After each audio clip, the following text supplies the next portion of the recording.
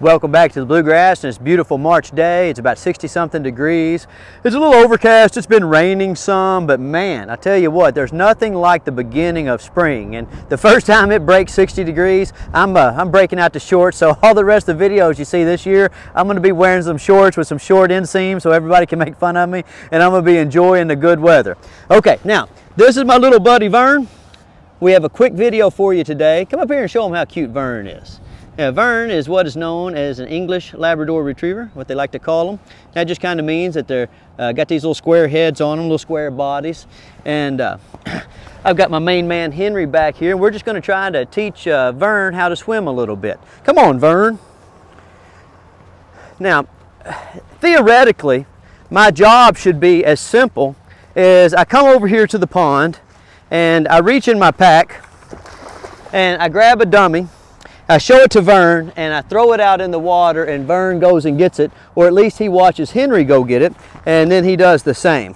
But here's kind of what ends up happening to us. Watch, I'll throw it for Henry, and Vern will go out here, but what they'll do in the beginning stages, they will go to what's called the neutral buoyancy point. So right at the point to where the water is deep enough to make the dogs kind of float, their, their, you know, their, their feet come off the ground then uh, they want to turn around and go back to the bank. Which that kind of makes sense for them because when they first start trying to swim, they're like, uh, they don't know what that is, you know. And dogs are natural swimmers. But uh, let me see. I'll try to just go up. Just stay right there, cameraman. I'll go that way and then I'll come back.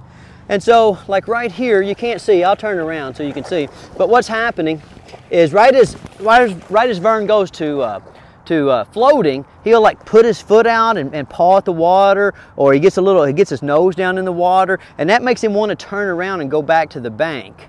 Okay, so now you'll notice I have a lot of leash tension.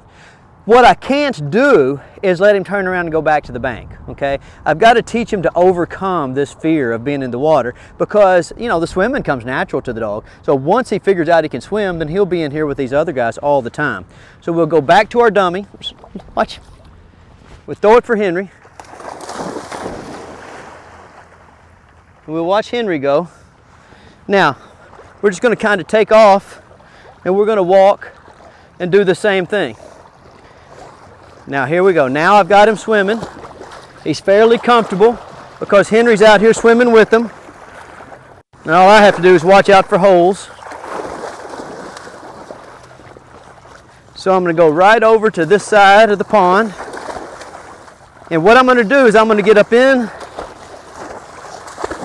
these weeds until the dog's feet touch the ground and he's no longer floating. Then I'm going to turn around. I'm to go back. So I started at a spot where Vern could stand. I walked him across the deep part of the pond where he had to swim. Then when he got to the other side, he figured out he could stand again.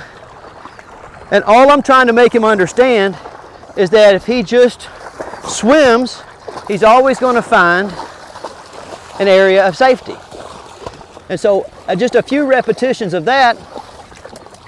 Come on, one more time, Vern. Just a few repetitions of that and all that fear and panic will be gone. This is where most of you guys, you have a little bit of trouble. See right here where he doesn't want to go back?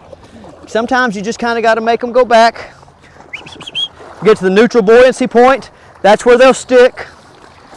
And then once they get to swimming, then instinct takes over and they do just fine.